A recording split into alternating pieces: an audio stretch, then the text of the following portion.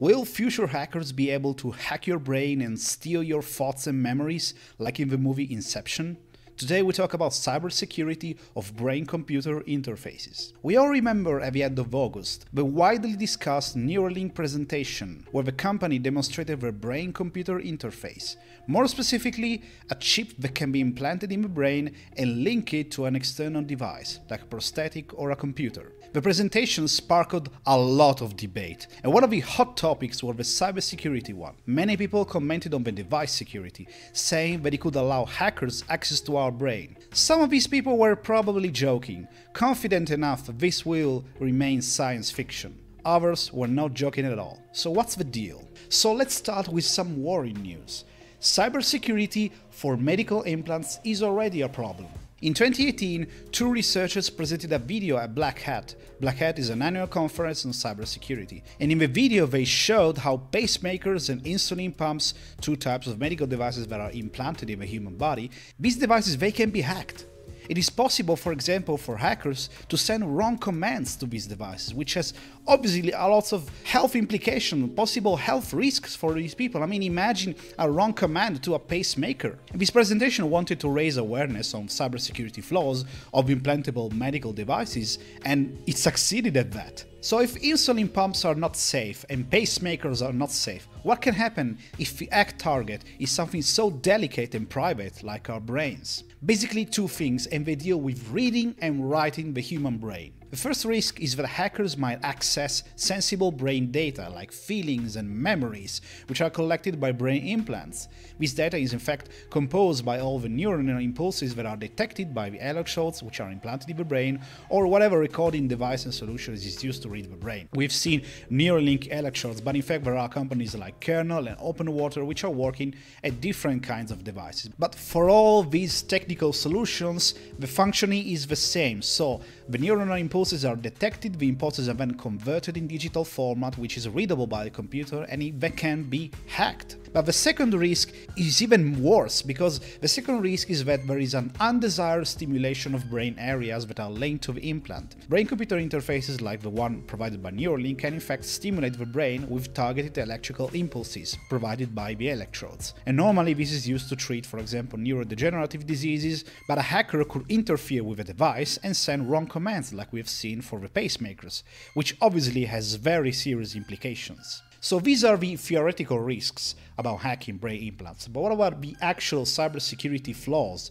Well, during Neuralink presentation that happened in August, there have been some questions and answers about that. Some of the team members, some of the team members from Neuralink, they provided some insight about the data communication and specifically about the protocol that we're going to use to transmit the data. And the protocol adopted is Bluetooth. We see a clip right now. Yeah, so the current version of implant that we have is using Bluetooth Low Energy Radio. But why does Bluetooth matter? What is the problem with Bluetooth? Why are so many people concerned about that? So let's talk a little bit more about Bluetooth. Bluetooth is a wireless standard for data exchange. It is widely used on all of our smartphones, but also on headphones or keyboards. Bluetooth is adopted to transmit wirelessly data. It allows, in fact, wireless connection between two close devices. Connection can be temporary, like for authentication, or it can be long-term, like for fitness trackers or similar devices. Bluetooth opens a very convenient but potentially dangerous communication channel between the two devices. Without appropriate data encryption, that encryption that is converting data in a format that is readable only by authorized users, third-party devices can in fact interfere in the communication and use the information for malicious purposes. Bluetooth generally is considered to be safe due to the short range, which ranges between few meters or tens of meters, but vulnerabilities have appeared in the past. In 2017, for example, a security flaw named BlueBorne was discovered, and this security flaw affected billions of devices, making them vulnerable to cyber attacks. Matthew Green, who is a cryptographer from Johns Hopkins University, claimed that the main responsible for these vulnerabilities is the extremely complex documentation of the Bluetooth standard. In fact, the technical details in this documentation are drowned in hundreds and hundreds of pages of specifications, making it very difficult for developers. Many developers circumvent this problem by creating an additional safety layer over the Bluetooth standard but it's not a very optimal solution. In fact, users are advised to turn off Bluetooth when not necessary to avoid any issues, but while turning it off on a smartphone is a minor inconvenience, turning off Bluetooth for a brain-computer interface is not so convenient. Are you scared enough? Risk assessment is not a very fun activity, but it's necessary. But don't worry, because the scientific community has not watched from the sideline while Elon Musk was playing with his pigs. In the interesting 2019 paper, Cybersecurity in Brain-Computer Interfaces, State-of-the-Art Opportunities and Future Challenges, the authors analyze risks and countermeasures regarding BCI security, BCI is Brain-Computer Interfaces. The paper shows in fact they were not unprepared when it comes to cybersecurity for brain-computer interfaces. In fact, there have been already assessments on different countermeasures, different solutions. Some of these solutions are, for example, hardware-based. They mean they have to do with the actual physical nature of the device, for example regarding the antennas. Neuralink device is in fact equipped with the antenna to transmit the data wirelessly. And a potential countermeasure would be to employ directional antennas. There is antennas that can transmit and receive only along specific directions, to avoid, in this case, external interferences.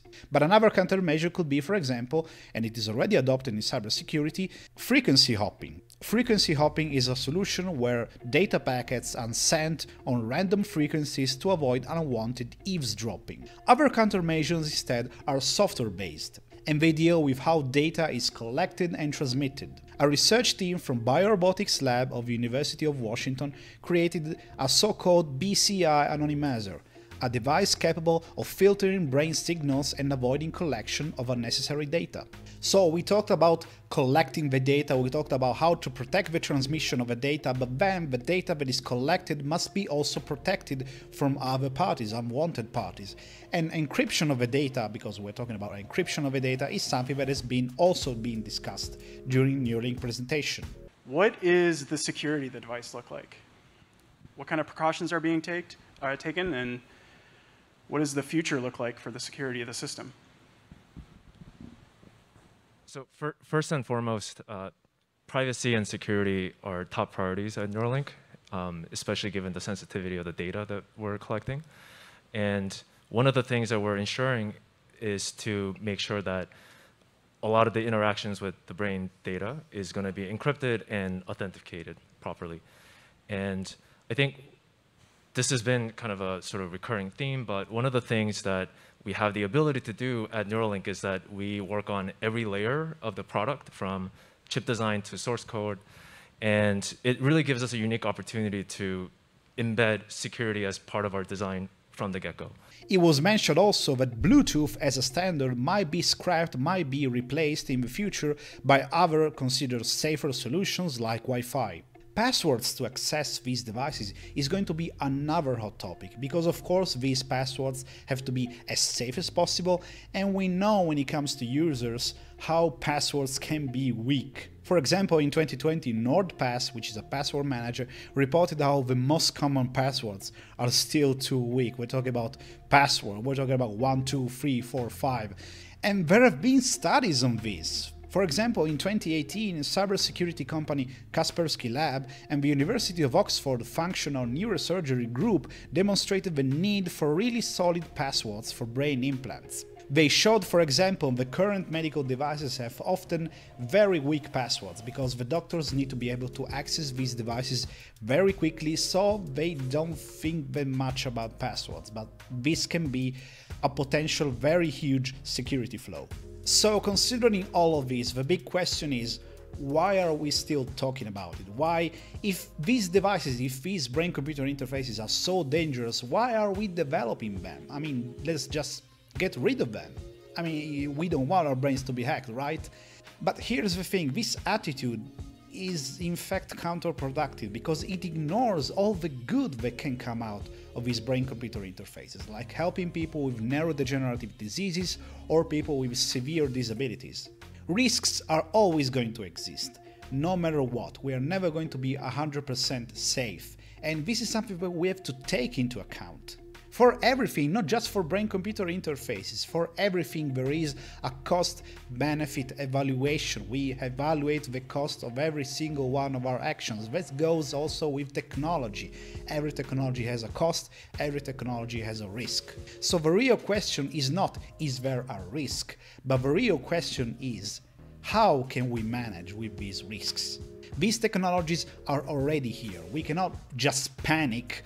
We have to be rational, we have to be cold headed, level headed, and tackle these risks to make these devices as safe as possible. Let me know then in the comment your opinion, let me know about potential solutions that you might think about in terms of cybersecurity for these devices. I thank you very much for watching and I see you in the next video.